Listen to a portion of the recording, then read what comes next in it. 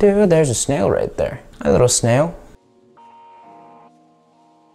May. May. It's the month of May. And you know what? May is the best month. Now, see, personally, I think that winter is the best season, but May is the best month. Now, why is May the best month? For starters, May is when the majority of the flowers are bloomed slash finished blooming.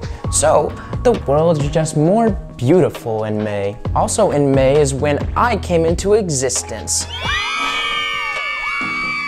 Also in May, we get to have a little bit of the best of both worlds. It's not too hot, but also it gets warm enough that you can actually take some days and go out to like the lakes and the rivers and everything like that. It's the month where that first starts to happen, so you can kind of like chill out without dying of heat exhaustion, but you can also chill out without like freezing your balls off, you know? I don't know why I went like this, as if I was like cupping balls. It used to be the best time for school too, because it was like the last month of school. Teachers are wrapping things up. Sure, you have a couple tests, but like you're right there at the end and you can just kind of relax a little bit because you know that you're at the end of your school year and seniors are about to graduate. But the thing is, y'all fuckers already graduated. What the fuck is this shit? Dude, that snail just was lightning quick. It went from that leaf to that leaf really quickly. Also, in May, we have like the holidays that you don't have to spend a ridiculous amount of money on. We got Cinco de Mayo, Mother's Day, Memorial Day, which also sucks because it's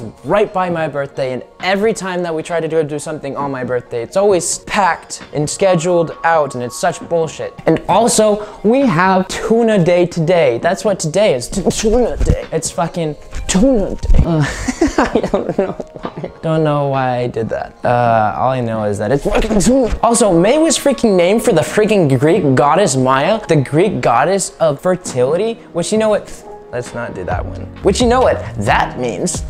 Basically means it's a, it's a good month for uh, child making. Dude, half the time I don't even know what I'm doing in these videos. I just jump into them with like a general structure of what it is that I want to do and then I just kind of do whatever the fuck and uh, things kind of turn out okay, I guess. Also, pretty much everything that designates anything in May is like new beginnings and like great success and everything good. And May just overall represents a just good fucking time. And if you don't think that May is the best month now, then obviously you are so incorrect that now I am just gonna come there and I'm just gonna, you know, just kind of,